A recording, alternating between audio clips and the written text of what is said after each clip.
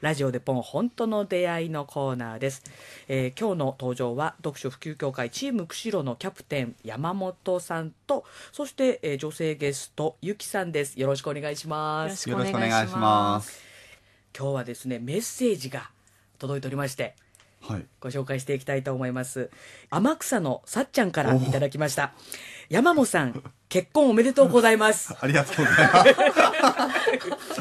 いつ結婚したんですか？えー、1月の3日に。あ1月の3日わすごいタイムリー。あ、ありがとう。ございます。おめでとうございます、えーチーム釧路のリーダーとしてコツコツ頑張ってる山本さんを尊敬しています。しかしそんなチームの、えーチーム釧路のリーダーは陰でちゃっかり婚活もやってたんですねと。しかもあんな可愛いお嫁さんをゲットしてすごいですということでねメッセージいただいてました。そして、えーこちらはですね広島の仲間由紀恵ことぽよぽよさんからなんですけども。あーありがとうございます。はい、彼女さんができたのは去年の夏頃でしょうか。いつの間にか結婚してびっくりです。素敵な人に巡り会えたんですね。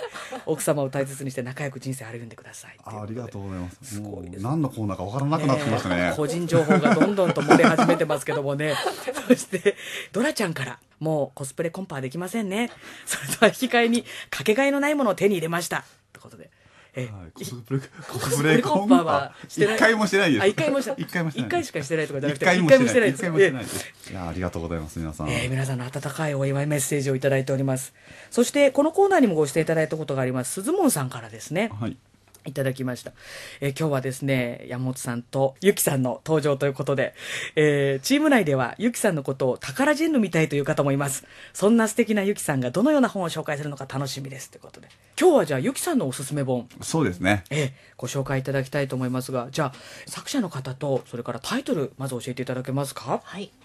えっと今日はですね、えー長谷川理恵さんのはい「朝リーディング」という本をえ紹介したいと思って持ってきました。はい、はい。長谷川理恵さんというとあのタレントのあ、そうですね。モデルからあの、はいタレントされてる方ですね。はい約20年ぐらい前から、はい。あの私が長谷川さんのずっとファンで。はい、ずっと本当にモデルとしてはい。かなり活躍、キャンキャンとか、はい。そういった雑誌で活躍されてる時からえあのずっとファンだったんですよええね。これはどんな内容なんですかね？そうですね。こちら、あの、ええ。一言で言うと、はい。あの心を整えるためのえ本の読み方、使い方っていうふうに書いてあって、はい。まあの多分本読む時ってえ何か目的があって、はい。こう例えば試験を受けるためにとかうん。選んだりとか、うん。あと好きな作家さんがいるからその本選んだりとかっていうのがあると思うんですけど、はい。あの長谷川さんの場合は今こういう気分だからこういう本を取ろうっていうなんかそのええ。本にコントロールされるんじゃなくて、え本を読むことで自分自身をコントロールしていえくうんうんための、まあ、はい使い方っていうのが、はい。あの書いてあるんですよね。ええはい。ええなかなか素敵だなと思ってるええんですけど、であのはい。なんかもともと趣味でも何でもなくて、読書が、はい。でもこうモデルとしてこう悶々として悩んでる時に、あの尊敬してる方からえ。本を勧められたのがきっかけでええ。あの長谷川さんはその朝ええ。お風呂の中えでえ1時間かけてあその日に自分に合った本をなんかええ。読んでるらしいんですよね。えなんかこう朝読書するっていうのはええ。よく聞くんですけど、はい。お風呂の中で読書する人ってなんか初めてだったんですよそねなかなか本だってふやけてしまうし、え本どうしてもお風呂の中で読むとふやけてのちょっと髪がくねくねになってしまったりとかするので、もうそうなってもいいようにもうガンガン読んで、ええ。もう一冊ええ。取っておくんだそうなんですよね、ええ。気に入った本は。スニーカーとかを、まあ、二足買い同じものをして、はい。まあ、鑑賞用と、ええ。こうなんで自分で履く用を買うみたいな感覚で、ええ。まあ、お風呂用とその、はい。まあ、保管用みたいな形で2冊買って、そうもうそう。するともう1じゃあふやけても冊が気兼ねなく読み込めて、はい。自分のものになりやすいみたいなことを書いてましたね。なるほど。あの長谷川さんマラソンとかもされるので、えシューズと本はにあちょっと2足というか2冊ずつとかええ。本2つ揃えるっていうようなことも書いてあって、ええ。はい。まあ、一つはさっきあの山本さんがおっしゃってたみたいに、まあ、鑑賞用と、会社用あとははい使う用、はい。そういうへえそういう揃え方をはい。長谷川さんしてると、はい。あとなんかあれですかゆきさんの中で印象に残ってるこの本の中のあエピソードっていうかありますか？ですね、うん。あのやっぱりこれモデルさんならではだなと思ったフレーズがあって、えその本にお金をかけるのは良しとするって、まあ、いうタイトルで、はい。あのあるんですけどそれは何でかっていうと、その服やコスメが自分を飾るものならええ。食べ物や本は自分を作るものっていうえフレーズがはい。とても印象に残っていて、ええ。なんか食べ物は自分を作るものっていうのもだ誰もが分かっていることなんですけれどもそ,、の中にその本うんうん。が入ってるっていうのがうん。なんかすごくうん。こう印象的というかはい。刺激を受けたんですよね。えでその長谷川さんはこう自分自身をコントロールするために毎朝さまざまな本を読んでいるので、えええなんかサプリメント的な感覚でうん。うん本を選んで、ええその日のコンディションを朝のうちに整えて、ええ。それでこう一日を過ごしてるんだなっていうのが、なるほどね。はあ。ちょっと本を読もうという時のアプローチの仕方がはい。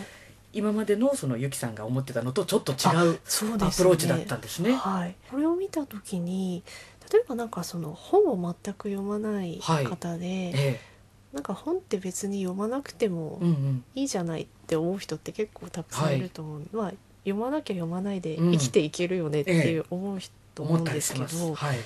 でもなんかそういう人にこそ読んでもらったらいいんじゃないかなって思えるぐらいはい。読みやすいので、読みやすい。はい、で実際に今回は山本さんも読んだということで。そうですねはい。自分では間違いなくこの本を選んで買うことはないなっていう本をはい今回初めて買いました、あで、まあ、この本の中にも年齢だとか性別だとか職業だとか、うん。まあ、自分の属性で本を選びがちな。ところがああると思うんですけど、はい。まあ、そういうのにとらわれずに、うん。まあ、直感でピンとくるものを選ぶといいみたいな話が書いてあったんですけれども、はい。まあ、それと同じように、うん。あの自分でやっぱり選ぶと癖というか、まあ、ええ傾向が出てくるので、うん。まあ、人が勧めたものをそのまま素直に一度読んでみるっていう意味で、まあ、この本を読んですごく良かったなと思いました。ああ、はそうですか、い。確かにね。長谷川理恵さんっていうとちょっと男性は買いづらいい、雰囲気って、ね。本屋さんでは買えないんでさすがにちょっと、はい。え通通販というか。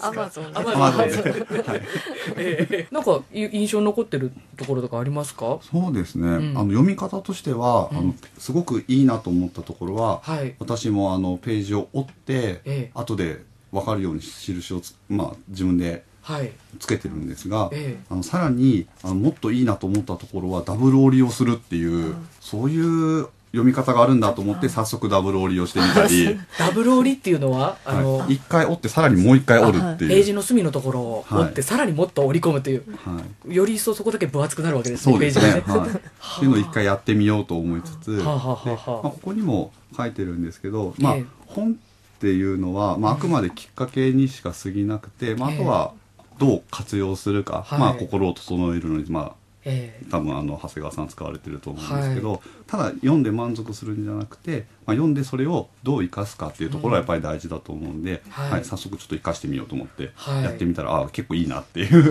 はい、ふうに感じましは早速取り込んでるということで、はい。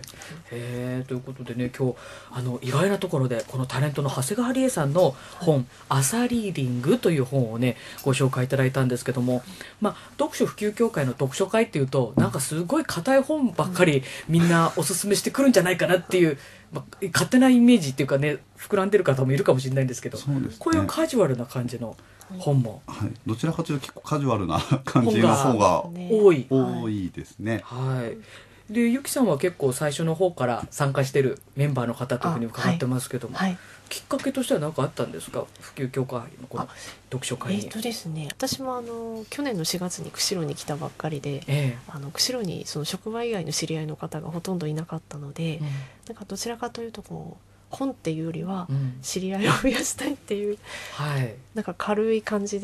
でちょっと参加してみたら、最初参加した時は5人ぐらいええ。5人4人ぐらいしかはい。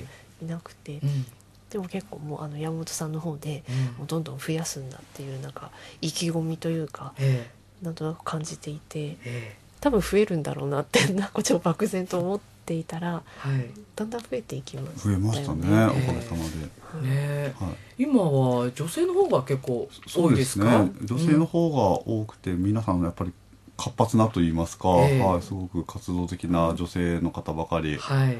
いらしてるんで、ええ。ぜひ男性も、はい。来ていただきたいなと思いつつ。そうですね、はい。毎月第1水曜日の夜7時からですね、はい。えー市民活動センターワットの1階で皆さんあの集まっていただいてあそれぞれのおすすめの本をちょっと喋っていただくって感じなんですけど本当にあの気楽な感じで、そうですね、えまあ、どういった本でも全然ジャンルは問わないんで、はい。あと時間にちょっと間に合わなくても全然遅れてお越しいただいても構いませんので、ーはいはい。気軽にぜひはい。足を運んでいただきたいなと思ってます、そうですね。で初回は無料でご参加いただけて2回目以降は1回それ100円だけ。100円だけ。はい。まあ、ちょっと会場費という形で、あのーはい、100円となっておりますけども、えー事前に申し込みはあった方がいいですかね？できればそうですね。いはい。ただいた方がありがたいです、はい。ということで、あの、ホームページなどからも申し込みができますので、詳しくは佐藤のブログ、サトプラリンからリンク貼ってありますので、えーご覧いただきたいと思います。そして、まあ、このコーナーでは結構パワープッシュしてるはい。作家の方、あえー北川康さん、さん。新刊が出ました。はい、はい。えーおいべさんと不思議な母子ということで、えー6月に今講演会しますと以前もお話しさせてもらいましたが、はい。北川さんの最新刊とても面白いので、はい。ぜひ読んでいただきたいなと思います。はい、よろしくお願いします。えーということで、えー今日はですね、えー山本さんの結婚祝いも記念してのですね、放送となりましたけれども、えーえーのラジオでポン、本当の出会い、えー本当の出会い、いろいろあるみたいですね。はい。えー。多分この読書会からもまた、はいい、い出会いがあるんじゃないかなと思ってます。はい、ということで、読書普及協会チーム釧路の山本さんと、今日はゲストゆきさんでした。ありがとうございました。ありがとうございました